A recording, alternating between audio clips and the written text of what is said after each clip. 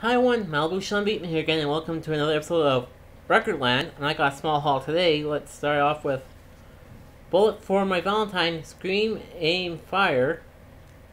Now, I heard it's been, but I never heard any of their music. Canadian pianist Frank Mills, the 20th anniversary together through the years, uh, and he is known famous for music box dan- music box dancer, which is a nice uh, instrumental piece.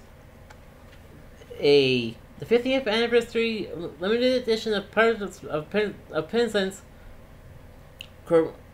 commemorative CD done by a local troupe in, in my area called the Rosslyn Light Opera Players. It's a good album because if you're into musicals, so it's a locally made CD that is based on a Gilbert and Sullivan play. The Remembering the Titans soundtrack.